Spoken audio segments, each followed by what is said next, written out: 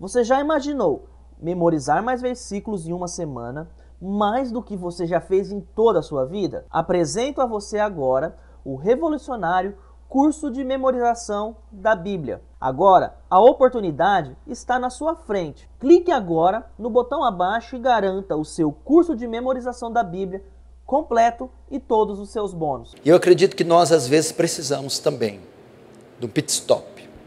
Parar um pouco para nós fazermos a manutenção da nossa alma, para nós refrigerarmos a nossa alma. Aliás, Jesus disse isso, preste muita atenção. A Bíblia diz, Jesus dizendo, que vale o homem ganhar o mundo inteiro se ele perder sua alma.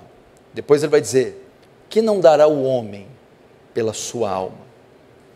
E no Salmo, se eu não me engano, 59 ou 39, diz que a redenção da alma é caríssima, ninguém pode pagar.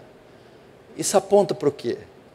Você tem algo muito valioso, é a sua alma. Então trate de cuidar dela bem. E é impressionante que pessoas não cuidam das suas almas. Tenham um cuidado danado com a estética dos seus corpos. Conhecimento, inteligência, beleza, saúde, mas não se preocupam com a condição das suas almas. Que não dará o homem pela sua alma? Cuide da sua alma. Louco, amanhã pedirão a sua alma. O que tens preparado? A Bíblia diz: não tem mais quem mata o corpo. Tem mais antes quem pode enviar a alma e o corpo para o inferno. Então, olha a importância que ele dá à alma. Cuidado para você não ser tomado com esse hedonismo, busca pelo prazer. Cuida da sua alma. Às vezes, os nutrientes do seu corpo, suas dietas estão ricas e balanceadas mas a sua alma sofre de anemia, sofre de inanição por falta de cuidar dela. Paulo diz: não extingais o espírito, é cuidar da alma. Extingue é nutre seu espírito assim como você nutre sua carne, seu corpo. Cuidado, meu irmão. Aquele que está de pé, cuide para que não caia. Cuidado. A Bíblia diz que quando o Espírito Santo se retirou de Sansão, Sansão não sabia. Sansão nem viu. Ele nem percebeu. O Espírito se extinguiu. Ele não percebeu. É tão sutil, a pessoa nem percebe. Israel estava nesse caso, em Isaías 58. Oh, mas Senhor, por que jejuamos nós e o Senhor não nos ouve? Por que afligimos nossa carne e o Senhor não se atenta para nós? Estavam jejuando, clamando a Deus por livramento, e Deus não respondia, estavam se queixando.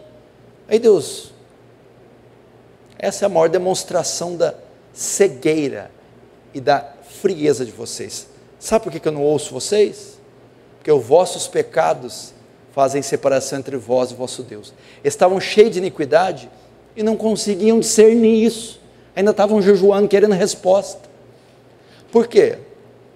Uma pessoa que não cuida da sua alma se torna insensível ao pecado, à própria condição dela. Ela não pode nem fazer um julgamento adequado por ela. Ela não pode nem julgar a si própria. Por quê?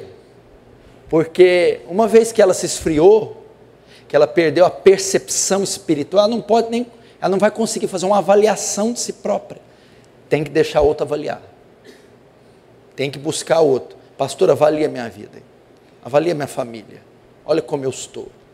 Você não pode avaliar você, você está nessa condição. Você não tem. Você não tem condição de fazer um diagnóstico.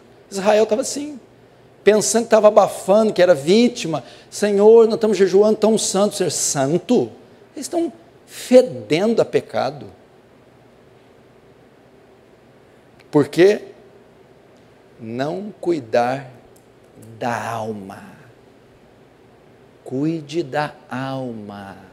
A Bíblia fala assim: na verdade, o espírito está pronto, e a carne para nada presta. Né? Na verdade, é o espírito que vivifica, a carne para nada presta. Qual valor você tem dado à sua alma? Que tempo você reserva a ela? Como você nutre ela? Como que um fogo se extingue? Paulo diz: não extingais o espírito. Extingar o espírito é apagar, abafar, diminuir a chama vivificadora do espírito. E ele faz a, a comparação que o espírito em nós, a ação ativa dele, semelhante a uma chama, fogo. Você apaga fogo de duas maneiras. Primeiro, deixando ele exposto à chuva, à terra e a vento. Um vento, se soprar com muita força, apaga o fogo. Chuva ou água, se cair sobre o fogo, apaga. E se eu vou jogar terra, também apaga. Então, elementos podem apagar o fogo. Logo, o que você faz para manter o fogo? Protege. Coloca essa, essa fogueira em lugar coberto, com blindagens onde não há vento e bloqueando o caminho para não ser jogado em entulho. Como que a alma da gente morre e mingua? quando você se expõe ao pecado, ao mundo, aos ventos mundanos que assopram sobre a sua mente e os seus olhos. Quando você está debaixo das chuvas carnais, as chuvas de pecado, quando você expõe seu corpo, seus olhos, sua, sua mente a este, neste mundo, ele vai apagar. Quando você não tem cuidado os lugares que você frequenta, as coisas que você consome pelos olhos, as pessoas que você anda. É uma maneira de apagar o fogo. Pecado, mundanismo, carne. Fica o tempo todo em mídias sociais, Netflix, YouTube. Você está pagando. São terras lançadas em entulhos sobre o fogo. Eu preguei aqui um tempo atrás que o sal pode perder a salinidade. Como? O sal, a essência do cristão. Se ele ficar exposto à chuva, a sol, terra, as impurezas vão se misturando com aquele sal e ele perde a salinidade. É a mesma coisa que extingue o espírito. Você vai se misturando com as, os cuidados deste mundo, afazeres, programações, informações o que, que vai acontecer? Você vai perdendo sua salinidade. Você vai se tornando um cristão xoxo, morno, frio, carnal, sensual, natural.